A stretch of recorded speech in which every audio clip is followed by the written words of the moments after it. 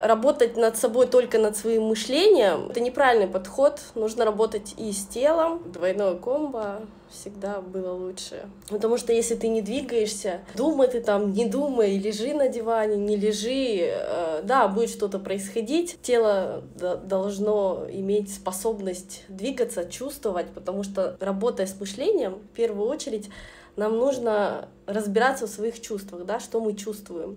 Но если тело деревянное, то чувствовать очень сложно. Самый быстрый способ это, конечно же, массаж, потому что вот после курса массажа даже пяти сеансов ваше тело становится настолько чувствительное, что когда вы начинаете разбираться со своими программами, какими-то блоками, которые вас останавливают, они вот эти озарения просто тык-тык-тык идут очень быстро из-за того, что ваше тело начинает очень быстро реагировать и вы начинаете понимать себя. И поэтому, блин, советую, кто еще дома лежит на диване, вставайте и бегите, там, я не знаю, пробежки делайте на турниках. Сейчас, пожалуйста, в любой двор выходи, тренируйся сколько хочешь, потому что в каждом дворе выходите хоть на турничках вечером поработайте. Давайте о времени реализации. Когда говорят, что сознание мгновенно меняет реальность, это чуть преувеличено. Расскажите, сколько у вас времени занимает сознание до проявления в действительности. Здесь я бы хотела сказать, оно как бы и преувеличено, с одной стороны, если вы не привыкли на себя обращать внимание, и в то же время не преувеличено, потому что оно вот так вот меняется мгновенно. Я сейчас даже прикол один расскажу с бутылкой. Если вы хорошо себя чувствуете, натренировали, привыкли обращать на себя внимание, на свои чувства, на свои реакции, на свои эмоции, то у вас это мгновенно происходит. Это может и секунда быть, что тебя просто переключает. Это может и день быть, что переключает. Может быть и неделя. Вот, все зависит от того, насколько вы ну, готовы к этим изменениям. Все зависит от того, насколько вы расширены в своем мышлении. У вас сейчас убеждение, что это не мгновенно, да, нужно какое-то время, это тоже шаблон мышления, это тоже программа, с которой надо поработать. И вас это останавливает, естественно, тормозит. То есть нам нужно всегда осознавать, что нас тормозит. Если вы не видите, как реальность меняется, значит, это не значит, что она не поменялась. Это значит, что вы не, ну, не обратили на это внимание, либо вас что-то тормозит, и вы не доразобрали, что именно. Вчера такой прикол был. Значит, задали мне вопросы, что я ем питаюсь я как человек или нет. Я говорю, да, я питаюсь как человек, показала свой холодильник. Я помню, что у меня стояла бутылка Джемисона, мне еще муж э, говорил то, что давай там по стопарику с лимончиком выпьем вечером. Я говорю, ну, давай. У меня прям э, воспоминания, ну, очень четкие, что у меня был Джемисон. Я заглядываю в холодильник вчера, рассказываю, что у меня там лежит, вижу бутылку, читаю Джемисон, я не вижу другую. Вот. Потом мне сегодня рассказывают в комментариях, то, что Дели, какой там Джеймисон, у тебя совсем другая бутылка стоит. Я говорю, как так? Я заглядываю в холодильник, читаю Джеймисон, ну, блин, вы что, говорю, гоните, что ли? Заглядываю второй раз, другая бутылка, другое название, нету там Джеймисона. Я говорю, ну как это? Заглянула еще раз, действительно, у меня совсем другая бутылка. То есть о чем это говорит? Это говорит о том, что мы хотим видеть то, что, вернее, мы видим то, что хотим видеть. Реальность это меняется или нереальность, неважно. Реальность это всего лишь иллюзия. Мы в реальности внимаем только своим вниманием, ну, что готовы внимать. Я была готова на Джеймсон, и я его, блин, вы видела в упор.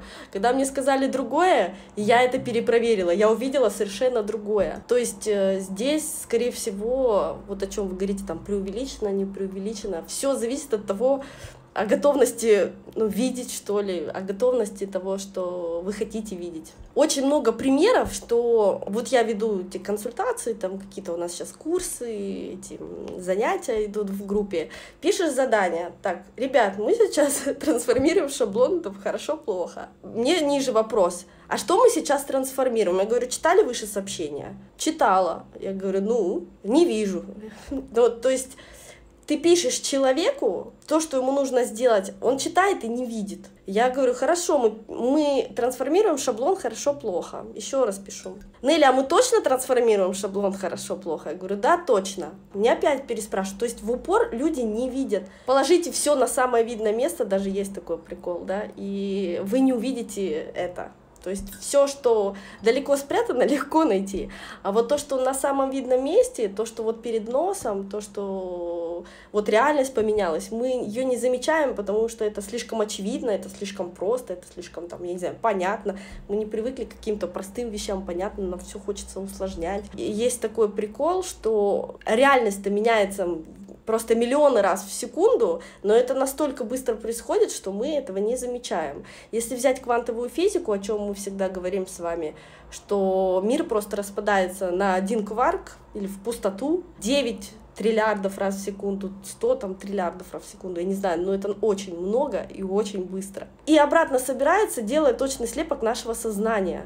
Мы умираем, прикиньте, в секунду триллиарды раз умираем, нас нету, вот просто в пустоту, и делаем картинку. То есть реальность, она все время меняется. Вопрос, подтягиваете вы в новую реальность, в новую картинку, то, к чему вы привязаны или нет, все зависит вот от вашего мышления, как вы привыкли реагировать, как вы привыкли чувствовать, как вы привыкли смотреть на все мы ко всему привязаны, к людям, к ситуациям, к воспоминаниям, к знаниям, к прошлому. Каждое слово имеет какое-то для нас определение, какое-то чувство. Мы к этому чувству привязаны. И мы тащим из картинки в картинку все это то же самое, поэтому картинки очень сильно похожи, которые собираются, блин, триллиарды раз в секунду, и нам кажется, что ничего не меняется.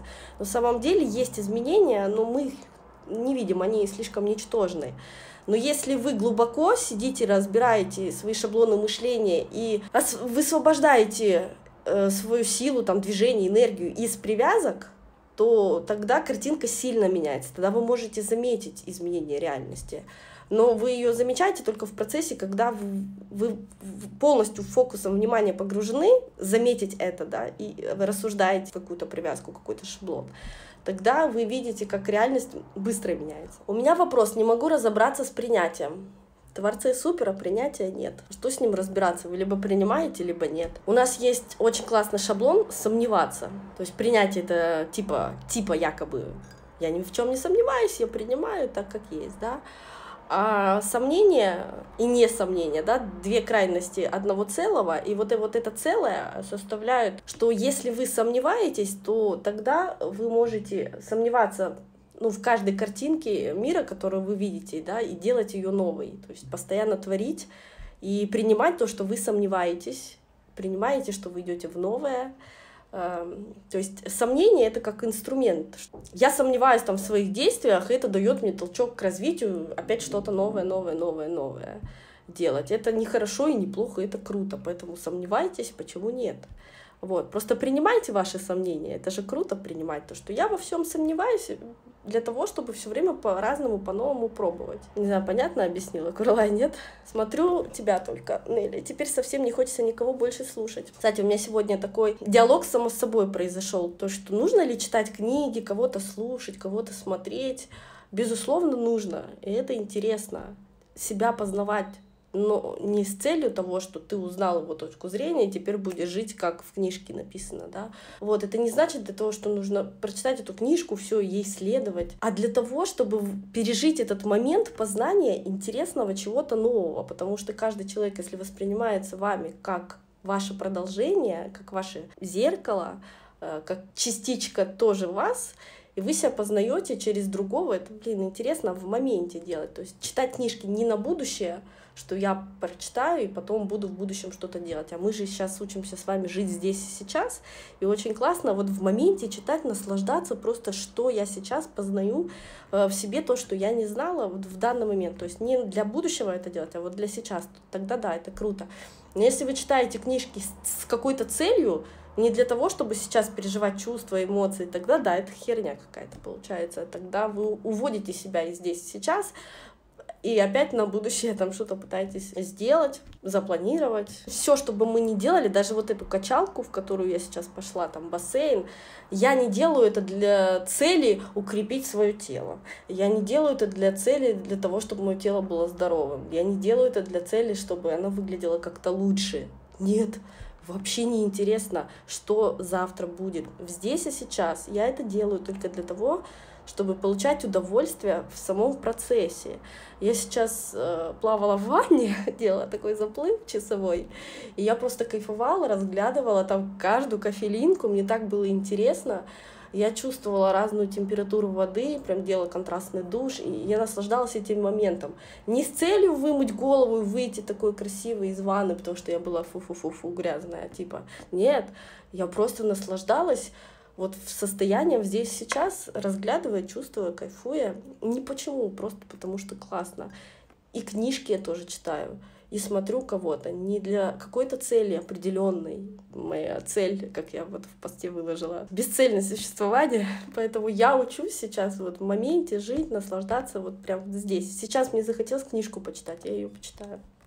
Кстати, о книжке. Тоже хочу немножко проанонсировать свою книгу, которая у меня буквально выходит уже скоро. Я ее уже, можно сказать, дописала, там осталось перечитать ее я хочу просто поправить некоторые моменты. Она у меня написана. Книжка-курс. Хакер-бук, где каждый день вы выполняете задания, читая эту книгу, добавляете предыдущие задания и учитесь жить осознанно, чувствовать, творить, как исполняется желание. Это любовь, счастье, познание себя, предназначение. Там все в этой книжке описано. И э, как уроки даны для самостоятельной работы, для выполнения. Полноценный курс, и хочу вам ее всем дать. Я прям кайфую, когда говорю об этой книжке. Собрание, наверное, со всех моих курсов в этой книге, потому что там будет 70 э, уроков, прикиньте, 70 уроков, вот, на каждый день. Или задолбало грустное настроение внутри, и оправдывала его, и принимала, опять накрывает, и получается фокус внимания на том, чего не хватает. А что я могу тут сказать? Грустное настроение. Что такое для вас грусть? Вы хотите, у вас желание, да, грустить. Если вы его осознаете, это желание, то у вас просыпается мгновенно другое желание, как бы противоположное. Если э, у вас лень, вы разрешаете себе лениться, долго вы тоже не можете в этом состоянии находиться. Вам хочется что-то сделать. Отсутствие желания — это уже желание, да, чтобы ничего там не делать. Я хочу ничего не делать, но вы уже при этом хотите делать ничего или хотите делать. Когда мы лежим, да, мы тоже делаем действия. Мы лежим. Лежать — это тоже действие. И э, что бы мы ни делали, мы всегда что-то делаем. То есть у нас работа бесконечная всего. Грустное состояние, вы хотите находиться в каком-то там покое или еще что-то. Но как только вы разрешаете это себе делать, тут даже не оправдывать его нужно. Просто разрешите кайфануть, но вот реально кайфануть от, от своей грусти. Я очень люблю грустить, смотря особенно на дождь на улице, когда вот дождь, все, у меня такое грустное настроение, такое грустное, грустное, грустное. Я прям обожаю его. И это состояние такого умиротворения. Но мы не можем долго находиться в одном состоянии. Нам хочется его постоянно менять, менять, менять. Но как только вы фокус внимания сместите на чем-то другом, что вам интересно, вы уже о грусти забудете. Вот, вам нужно пробудить интерес, потому что любое желание — осуществляется с помощью э, единственного пинка — это интерес. Если интереса нету ни к чему, тогда вам нужно его хотя бы искусственно вызвать для начала. Напишите список, чего вы хотите в этой жизни сделать. Проявите к этому интерес. Это уже сместит фокус внимания с того, что вам грустно, на поиск интереса того, что вы хотите в жизни. Узнайте, что вы хотели бы за, за эту неделю сделать, чему научиться, что выучить, какому языку выучиться, что там с телом сделать, что поесть, куда сходить, что посмотреть, что порисовать, не знаю, может петь или еще что-то. Хотя бы найдите, какой у вас есть интерес хоть к чему-то, но он же должен у вас быть. Как только вы переключите интерес хотя бы для того, чтобы найти этот интерес, это уже интересно, да? Согласитесь, ну вот сейчас согласитесь, что вам интересно найти интерес. Но как только включился интерес, процесс уже запущен он все, движуха уже пошла. Встаете, листочек, ручку, пожалуйста, начинайте. Сам процесс, он вас захватит в процессе. Знаете, еще такое аппетит просыпается во время еды. Я не хотела есть вчера вообще. Вот, ну просто я ничего не ела. Пришел муж, говорит, так, давай, корми меня. Я такая, ну хорошо, садись, я тут курочку пожарила, кашки сварила, давай салатик. Вот, а он, а ты? Причем это уже второй день происходит у меня так. Я говорю, я не хочу, я вообще есть никогда не хочу, потому что у меня всегда такая движуха. Пустоту заполнять э, мы привыкли едой, внутреннюю, да, но моя пустота заполнена чувствами, поэтому внешним, ну, мне физически не хочется есть, я ее не хочу заполнять внешним. Вот, он такой, ну, попробуй хотя бы, что ты сама приготовила. Я себе чуть-чуть положила, одну ложку, ну, ну, нормально. Он говорит, ну, вкус хоть почувствуй. Я говорю, ну ладно, вторую ложку. Распробовала вкус, и мне так интересно стало попробовать еще салат, потом курицу, то есть начала просто с каши. И мне в процессе родился вот этот интерес все распробовать, и действительно я сидела, ела, ну и наслаждалась, и мне было по кайфу. Но аппетит этот вырос только когда я начала его делать. До этого не было. И вот так второй день уже происходит. Как наполняться? Наполняемся мы, естественно, чувствами и эмоциями. Как наполняться? Пожалуйста, осознайте, что вы хотите чувствовать. Просто помедитируйте. Знаете, есть классные медитации в интернете. С голосом или просто с музыкой. Полежите и прочувствуйте хотя бы, э, что ваш ваше тело вам показывает, как вы на него реагируете. А, я, например, захотела прочувствовать и наполниться запахом кофе. Вот мне даже одного запаха, вот я сижу сейчас, нос очень хорошо прям чувствует, не так, как раньше. Я наслаждаюсь в последнее время после операции запахами. Они меня везде преследуют, и я прям дышу, и мне вот классно. Но на это нужно обращать э, внимание свое. Почему мы ничего не чувствуем и не наполняемся? Потому что мы вечно, а, где, как? Мыслями, миллиард мыслями где-то в думках, в завтрашнем дне, во вчерашнем, что-то вспоминаем, что-то хотим сделать. Мы не, наслаждаем, не наслаждаемся здесь сейчас. Вот есть такие тренинги, где можно задание просто проведите день, один день, допустим, сегодня или завтра, давайте сегодня, как последний день вашей жизни, что бы вы хотели сделать, да? кем вы хотели бы насладиться. И вот наполните себя вот всем этим. Не откладывайте на завтра, что вы хотите сделать сегодня. Знаете такую поговорку? Если что-то вы отложили на завтра, значит вам это не нужно. Перестаньте об этом беспокоиться, потому что все, что вам нужно, вы пойдете и сделаете. Мы же не откладываем туалет на завтра, да, мы не откладываем чистить зубы на завтра. Вам это нужно, вы это берете и делаете, вы не задумываетесь. Ой, а как это на завтра отложить? Продумаю я план дойти до туалета. Или продумаю я план там позавтракать или попить кофе. Нет, вы просто вот то, что вам реально хочется, вы берете и делаете. Перестаньте откладывать ну, те вещи, которые вы действительно хотите сделать. Пойдите да сделайте. Запишитесь, куда вы хотите. Как относитесь к таро-картам? Вот, кстати, э, ко мне обратилась одна девушка и говорит то, что Нель, давайте я вам погадаю на, кар... на Таро. Знаете что? Я согласилась. Вот, говорю, напишите мне во вторник, это было на прошлой неделе. Я расскажу потом в прямом эфире, каково это вообще было, что за ощущение. Вот, у меня проснулся интерес. Но, опять же, интерес не для того, чтобы загадывать на будущее.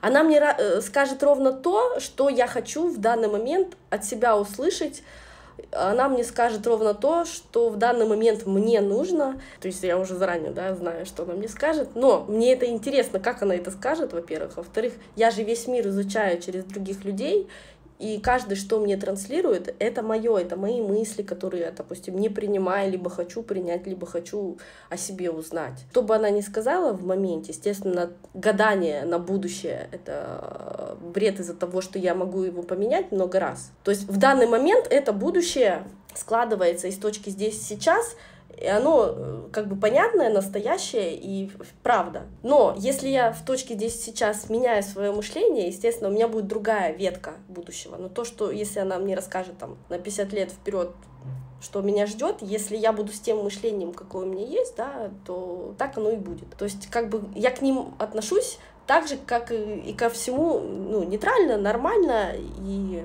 она мне не может ничего сказать того, чего бы во мне не было, и того, чего бы я не хотела услышать. Вот, то есть я вот так имею в виду, что ваше мышление меняется, знайте, что ваше будущее всегда в ваших руках. Вот, но на данный момент с вашим мышлением оно было бы вот таким, и это интересно. Вот реально, мне интересно. Так вот, девушка, если ты меня сейчас смотришь, Старо, сегодня уже чего, понедельник, а ты мне должна была написать во, во вторник, напиши мне, куда пропала. Мне еще до сих пор интересно. А потом вам расскажу.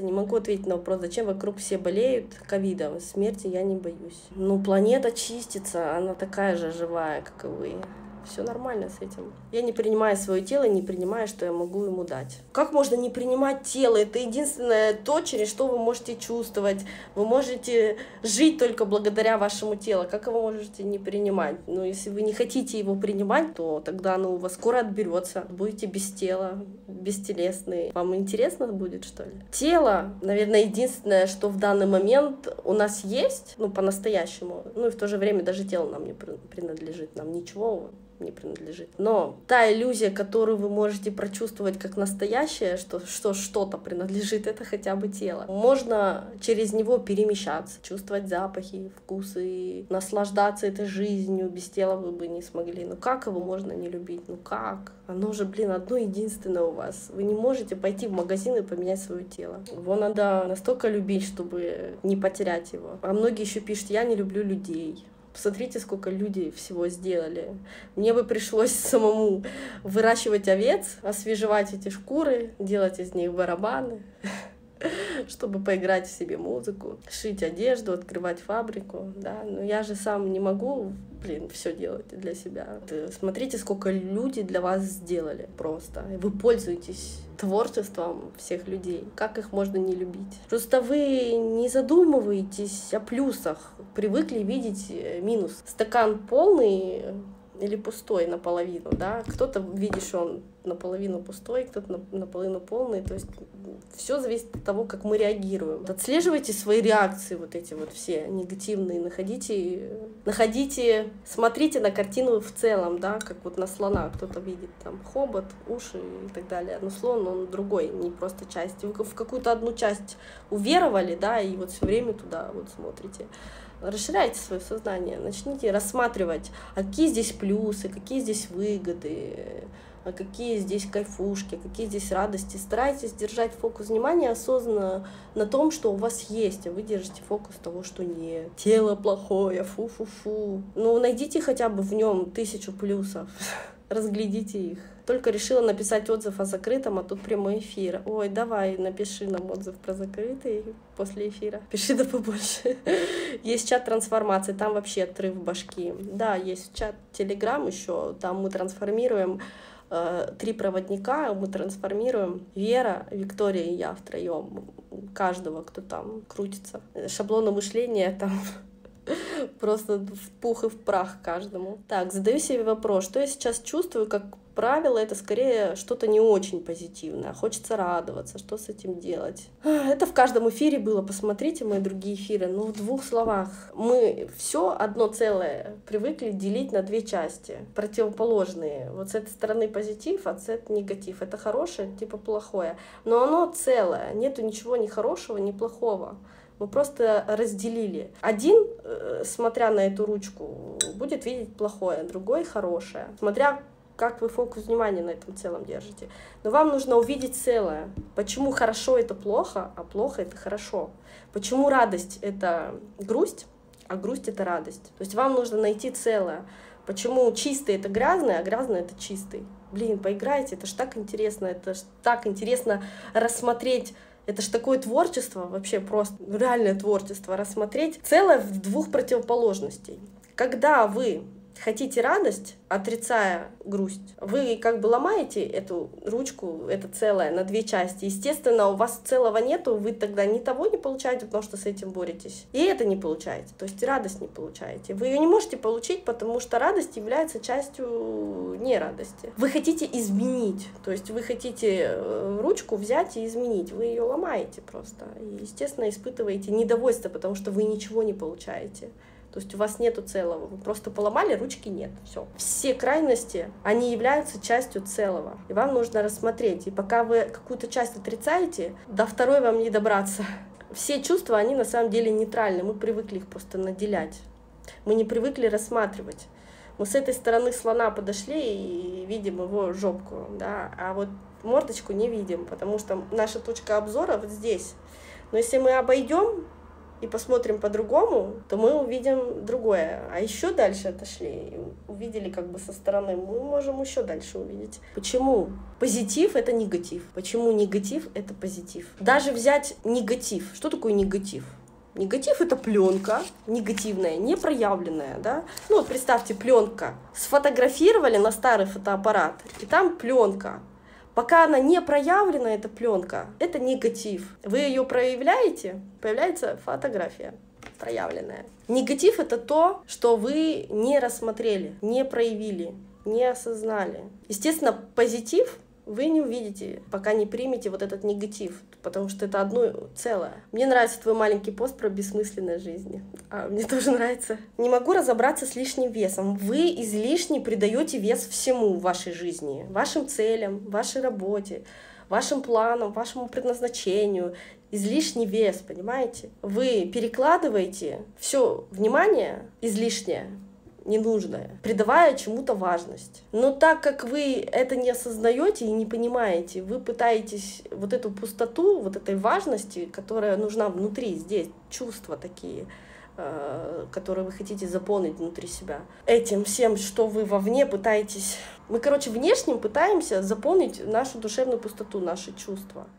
Мы живем ради чувств, да, и познания себя. Мы все желания хотим ради того, чтобы получить что-то, но это что-то не, материальное, это то, что дает нам определенные эмоции и чувства. Мы хотим кофе пить, чтобы почувствовать вкус, запах, насладиться этим. А мы хотим кофе пить, чтобы ну, жажду утолить ну, не знаю, можно и жажду кофе утолить. То есть мы чего-то хотим получить, но ощущения мы хотим получить. Само по себе кофе, да, оно не имеет никакого значения. Я просто хочу вкус кофе, я хочу видеть, что я пью коричневый цвет, Именно коричневый, не хочу белый. Вот вода прозрачная, она меня сейчас не вдохновляет. Я хочу коричневый, понимаете?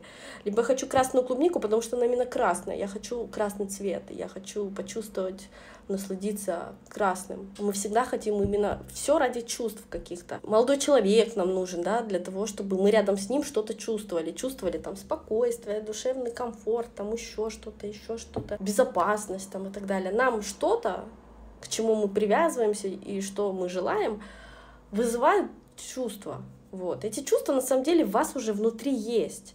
Но вы не хотите их в себе отыскивать. Вам проще э, добиваться там целей всяких разных. И вы думаете, что вот это я получу, и тогда я получу чувство. Но вы так думаете. Но это не так. На самом деле эти чувства, они внутри вас есть, вы можете их вызывать в любой момент, не обязательно добиваясь какого-то вашего желания, не обязательно добиваясь какой-то вашей цели, вы эти чувства можете получить сейчас. Любые, какие вы хотите.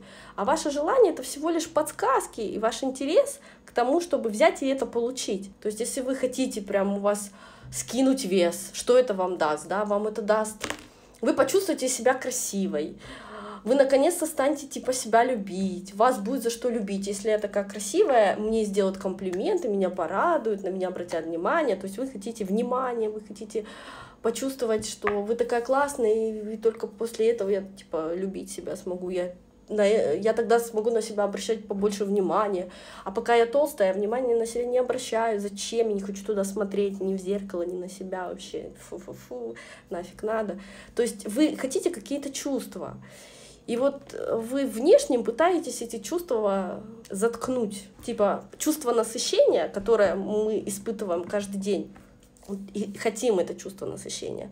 Мы не знаем, как насытиться чувствами, ну, не обращаем на себя внимания, на свое тело, плюс оно еще деревянное, вы спортом там не занимаетесь, э, не разминаетесь, мало двигаетесь, вот. Тело бесчувственное, а вы чувств хотите. Вот для этого мы еще и едим. Еда нам заменяет чувство насыщения. Бывает такое, что вы едите, едите, едите, а чувство насыщения не приходит, потому что вы-то чувствами хотите насытиться, а не материей. А вам нужны чувства но вы не насыщаетесь, потому что вы не чувствуете вкус еды, не наслаждаетесь запахом, не наслаждаетесь структурой, цветом, эстетикой, как это красиво все разложено на тарелочке. Вы не можете насытиться, потому что вы пытаетесь это в себя впихнуть, впихнуть, впихнуть, на самом деле вы чувства хотите в себя впихнуть. Вот. Но они и так у вас есть, их нужно просто обнаружить, обратить на себя внимание. Но у вас стоит шаблон, что я не могу на себя обратить внимание сама. Я не могу себя любить, хотя вы уже давно себя любите. Я я не могу себя чувствовать, хотя вы всегда себя чувствуете. Вы просто думаете, что раз я не могу себя любить, я не могу чувствовать, то мне нужны внешние люди, которые будут меня любить. Себя-то я не могу. Это чувство-то нужно восполнить, поэтому я стараюсь добиться успеха, стараюсь там быть классной среди друзей, стараюсь быть хорошей женой, хорошей мамой, только для того, чтобы вот это чувство, которое я никак в себе не могу рассмотреть, мне дали другие. Еда мне дает чувство насыщения ну, не всегда, да, но дает, типа. Вот, еда еще ваши чувства блокирует, и вы потом перестаете хотеть, у вас что-то вот это вот внутреннее не зудит. Вы когда чего-то хотите, у вас такое а, какое-то странное, в теле такая странная вибрация происходит, когда вы что-то хотите. Вы что-то хотите, а не знаете что, или не знаете кого, не знаете чем заняться, мы это заедаем, поели, такая расслабуха, откинулись на диване, фу, и вы... Вот это вот чувство в теле, оно начинает пропадать, которое пыталось вас вывести на то, чтобы вы что-то делали, что-то творили, куда-то там бежали и так далее, чтобы вы жизнью занимались, да, но вы поели для того, чтобы заглушить эти сигналы, импульсы вот эти в теле, вот, едой, и не думайте об этом, потому что они вас беспокоят. Но в беспокойстве на самом деле самое классное спокойствие, потому что если я беспокойна, я двигаюсь, что-то делаю, что-то хочу, что-то творю. В мозгах я спокойна, у меня жизнь идет. А когда мы спокойны, у нас просыпается беспокойство. Ну, потому что, блин, спокойно это только покойники. Осознайте, что беспокойство это очень крутое чувство. Но мы это чувство пытаемся всегда на спокойствие поменять. То есть вот мы не принимаем целое, что спокойствие в беспокойстве, а беспокойство, оно в спокойствии. Мы вот видим две крайности. Мы наше беспокойство хотим поменять на спокойствие, поэтому мы взяли, поели и успокоились. Но потом начинаем опять беспокоиться. Я ничего не делаю, я лежу, у меня лень, у меня апатия. Ну, вы же сами хотели спокойствия, ну лежите тогда. Но нет. Конечно, нет, потому что вы целое не видите спокойствия и беспокойство, что это классное состояние всегда быть в тонусе. Вот. Но ваше состояние тонуса вам, вам почему-то не нравится, вам нужно его заесть. А не нравится, потому что вы не понимаете, что делать. Пишите списки ваших желаний, они дают вам подсказку, какие чувства вы хотите себе давать. Естественно, после того, как вы понимаете, что вы хотите, вам нужно делать, вам нужно действие делать. Нельзя вот так просто на диване пролежать и наслаждаться вашим спокойствием и беспокойством. Где творчество? Где творить что-то новое? Но творчество это не значит, что нужно. Слушайте, все в кучу намешало. Походу, у меня все такие эфиры будут, когда закончу структурно делать или нет. Творчество, ну я по вопросам просто иду.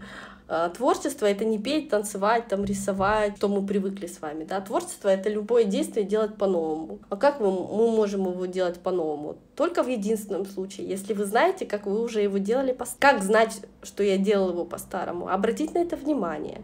Как обратить внимание? Осознать, что я сейчас делаю. Вот я сейчас пью кофе. Я осознаю, то есть я в моменте здесь и сейчас. Сейчас здесь и сейчас, сейчас, масло масляное, здесь сейчас, в моменте. Я понимаю, что я делаю, я осознаю свои действия, и только после того, как я осознаю, что я сейчас делаю, я уже тогда могу сделать это по-другому. Например, взять кофе с ложкой никогда не пила. Ну, я вообще так не делаю. Сейчас я сделала творческий какой-то шаг. Бессмысленный творческий шаг, но он другой. Все творчество ваше в каждом вашем действии, в каждом вашем, в каждой вашей мысли новой, в каждом вашем, короче, остановимся на действии. Если вы начинаете себя приучать видеть, что вы здесь сейчас делаете, какое действие, и делать его по-другому, вы приучите себя к этой осознанности. Вы будете осознавать и перестанете руку в костер, например, класть. Многие постоянно испытывают боль, потому что наступает «здравствуй, грабли», что такое боль, да, это зацикленность на чем-то одном. Перестаньте зацикливаться.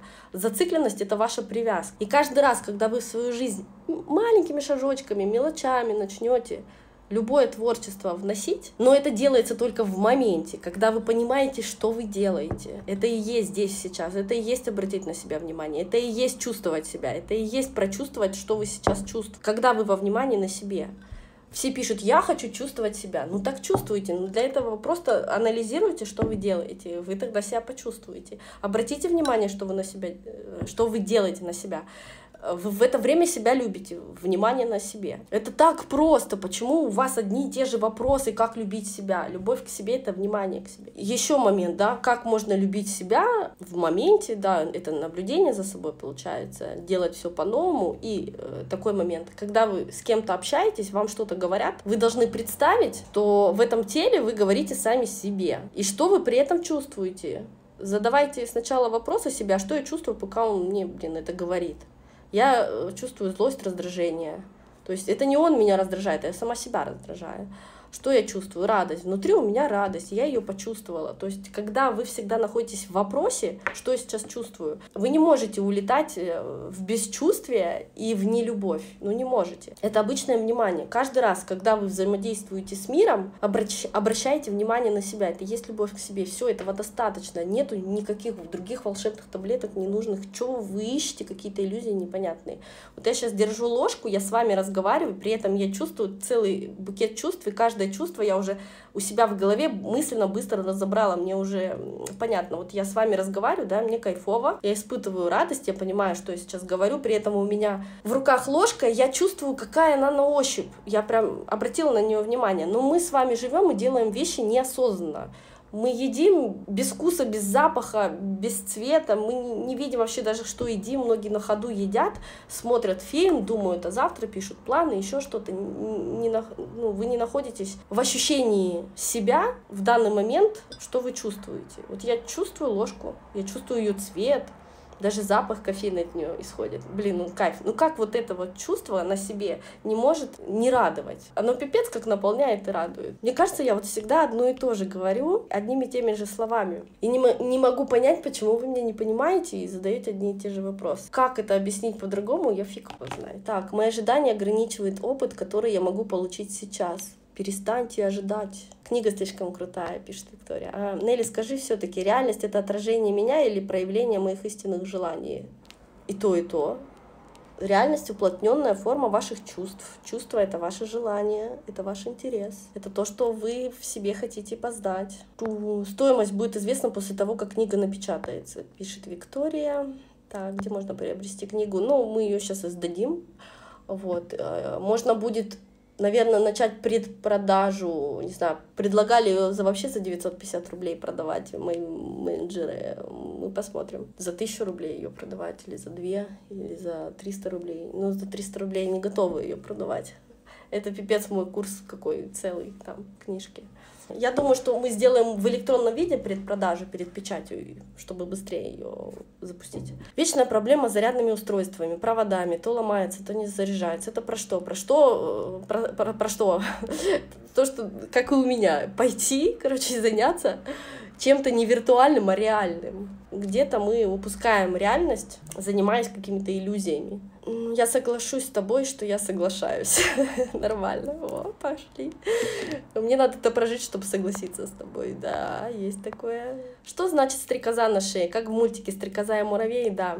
У меня ассоциация, что легкость я, стрекоза, лето красное пропела, как э, зима катит в глаза. Короче, она ничего там не успела, но шубу получила, дом получила, еду получила, все за нее все сделали, все ее желания исполнились. Мораль неправильная там была, с шаблонами, что типа не надо быть стрекозой, трудитесь как муравей. Нифига.